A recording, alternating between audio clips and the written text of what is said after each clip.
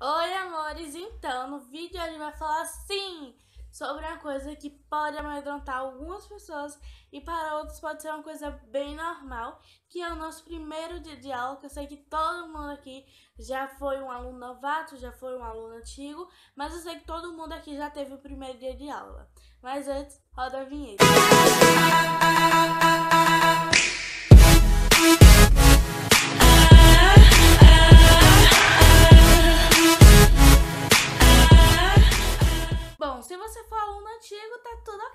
já chega com aquele olhar, já chega balançando o cabelo para um lado para o outro, olhando para a cara das pessoas que já te conhecem, é tudo bem normal.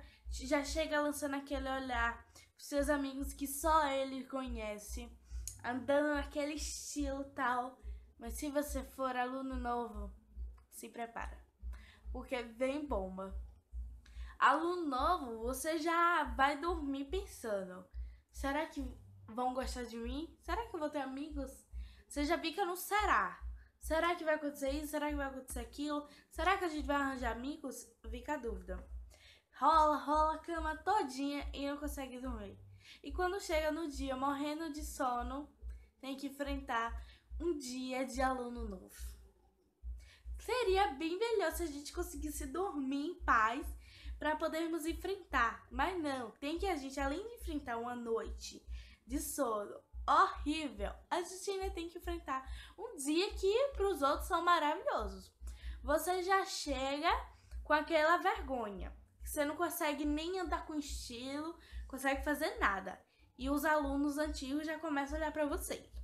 Isso é horrível, eu nunca vi. Tem que olhar para sua cara.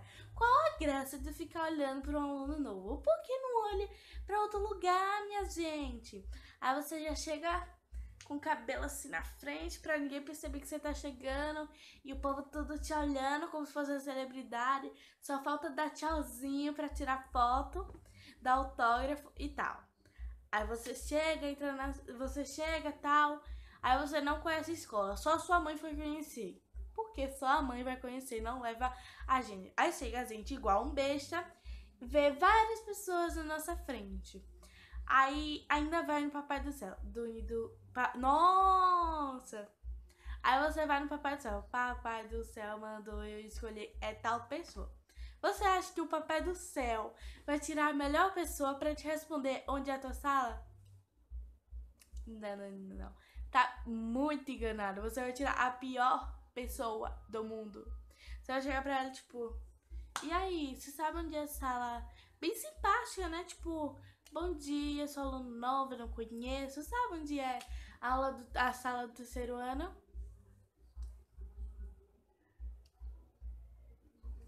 Vira a cara pra você e simplesmente sai andando. Como se você fosse um nada. Então, não vá pelo papai do céu. Não. Vá mesmo assim, quem você vê pela frente, chegue perguntando já e faça que nem como se fosse um aluno antigo.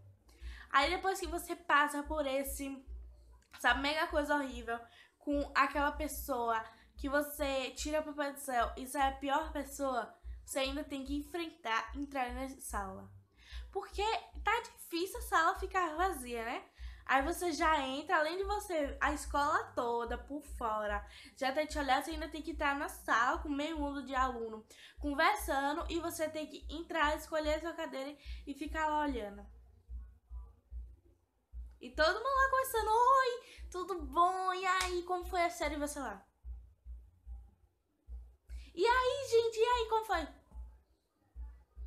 Isso é muito chato. Aí você sentar lá, acha que tá tudo ok, só vai ter que ficar sentadinha, escrever o que a professora passar e tal. Mas não. Tem que ter aquela bendita pergunta. Quem é aluno novo? Aí você não vai poder simplesmente ficar com a mão abaixada, até porque todo mundo vai perceber que você é uma carinha diferente ali no meio do povo. Aí você, eu, bem devagarzinho, tipo, mas mesmo que você faça assim, só um movimento do dedo a pessoa já sabe, aquele ali é um novo. Aí vem a professora. Venha cá, não já basta você ter que levantar a mão, todo mundo olhar para você e você tem que falar tudo, se apresentar e não quer que a gente vá na frente. Por que não deixa a gente pegar, colocar um falando na sua frente e falar Oi, eu sou Maria Júlia. Não, você tem que ir na frente, você tem que falar em tom bom pra todo mundo ouvir. E ter tem que se apresentar. Isso é muito constrangedor, fica de todo mundo lá te olhando. Como se você fosse a pessoa mais estranha do mundo. Gente, pelo amor de Deus, eu sou normal. Sou igual a vocês. Você chegar, aí você tem que dizer seu nome, sua idade. E ainda tem vezes que a professora pergunta de onde você veio, diz aquilo, que escola você veio. Não já basta você tem que dizer seu nome, sua idade e tal. Ela ainda faz mais perguntas. Gente, é só necessário saber o nome. Acabou, deixa a gente estar no nosso lugar e viver em paz. A gente não quer mais levantar dali. A gente já passou o maior mico e ainda tem que levantar. É a pior coisa que tem. Eu sei como é. E outra coisa que tem no primeiro dia de aula, além disso tudo que acontece com os alunos novos que sempre se ferram, é uma coisa que com todo mundo acontece. Isso aqui todo mundo acontece. Que é ficar mega ansioso para comprar aquele caderno lindo que você vê o povo usando, porque no YouTube sai muito vídeo de material escolar. Você vê aquele caderno, hum, já sei qual caderno eu tenho. Vai lá, compra, arrasei, vou chegar na escola com caderno novo, com estojo novo, colocar tudo na minha mesa e todo mundo vai olhar. Aí você chega lá, é uma feira de caderno, que você pode sair mês em mês olhando. Tem caderno todo tipo, toda cor, um mais lindo que o outro. Isso não é a primeira semana. A primeira semana tá todo mundo assim, escrevendo assim, sim, devagarzinho, pra ficar tudo lindo. Fecha assim com maior cuidado, coloca dentro da mochila. Ô, oh, filha. Espera dar a segunda, a terceira, a quarta semana. Deixa passar o primeiro mês, que vai ser tipo Cadê a professora? Fecha, empurra na mochila, sem fechar assim nada e tchau. Eu não, não tem uma pessoa que acaba o fim do ano com um caderno do jeito que começou. Eu duvido uma pessoa começar com um caderno lindo e maravilhoso e acabar com ele lindo e maravilhoso, como se tivesse de comprado. Todo mundo tem isso. De chegar, ai, nem top, não deixa nem você topar. Você fala assim, ai, deixa eu ver a figurinha, sabe? Não, não topa, não trisca no meu caderno. Propriedade minha. Afasta-se. Atenção. A pessoa não deixa nem você topar. Porque é ouro. Agora vai ver no final, no final do ano. Vai lá chover teu cara. Ah, toma. Pode ficar. Nem quero. Pode levar pra tua casa. Fazer o que quiser. Mas no primeiro dia era tipo, nem toca, não trisca. Propriedade minha. Atenção. E outra coisa é você voltar com o estojo cheio. Eu sei que todo mundo volta cheio de caneta, com caneta colorida, várias borrachas, que você faz coleção de tudo. Borracha, grafite, tudo. Tudo lá em perfeita ordem. Aí você vai pegando escrevendo para não gastar muita caneta. Você não pode gastar sua caneta muito, porque a sua caneta é valeu ouro. Quando você chega no final do ano que você abre o estojo, você não encontra mais nada. Ou você perdeu, ou você emprestou e aquela pessoa perdeu, mas você não encontra mais nada dentro do estojo. Se você chegar, aí você chega lá com estojo que as coisas só falta cair de dentro. Vai ver no final do ano, cadê teu estojo, amiga? Ai, tá aqui, toma. Quando você vai olhar, amiga, cadê a borracha? Cadê a caneta? Cadê isso? Ai, perdi, emprestei, vendi, então, você não acaba com o estojo do mesmo jeito que você começou, gente. Não acaba. Uma pessoa que acabar com o estojo do mesmo jeito que comprou, com tudo que você comprou dentro, é um milagre. É a mesma coisa que acontece com o caderno. Você não pode triscar em nada. Agora vai ver no final do ano, amiga. Você ver como é. Final do ano. Ah, meu Deus, final do ano você não quer nem mais ver. Você quer jogar algo fora, acabar com aquilo, se livrar. Outra coisa muito importante que todo mundo faz que eu sei fica todo mundo ansioso, né? Fica todo mundo ansioso para começar as aulas, tal, eu vou me arrumar, pinchar o cabelo, bem perfumada, maquiar pro caso das meninas e tal. Vai todo mundo parecendo um rei ou uma rainha que tá indo pra premiação de Oscar, né, gente? Aí chega lá toda com cabelo escovado, cabelo de cacho, de pranchinha, maquiada, toda fashion com sapato, roupa, tudo novo. Tá, perfeitamente. Todo mundo sei, não trisque em mim. Se você triscar, você suja a minha blusa. A minha blusa branca não pode sujar.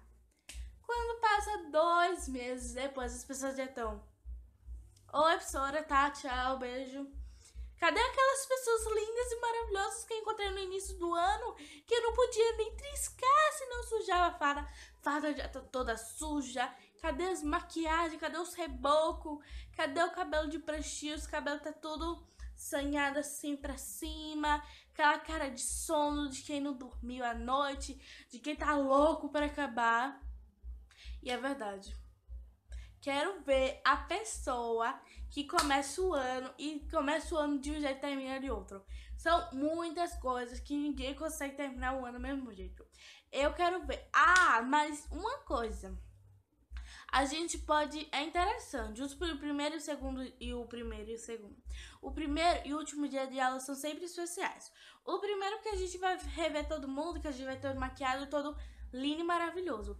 E por mais que o meio do ano todinho a gente vai igual um maloqueiro, igual um que vai pro pra um um chiqueiro, sei lá, a gente no final do ano a gente tem que se produzir, né, gente? Mesmo eu sei que a gente vai igual um maloqueiro, igual um louco, um doido que não tomou banho, não fez nada quando é no meio do ano, mas eu sei que no final todo mundo vai arrumadinho, todo mundo coloca aquele cabelo de franja, aquela maquiagem, a roupa toda bonita, chega lá. Agora, quem disse que alguém chega pra dizer, tá acabando o ano, tchau, eu não vou ver mais. Não, Todo mundo chega, tá acabando o ano, faz música, faz isso, faz aquilo, nem se despede do professor, tá nem aí, quer saber de chegar em casa e se jogar na cama e nunca mais ver nada.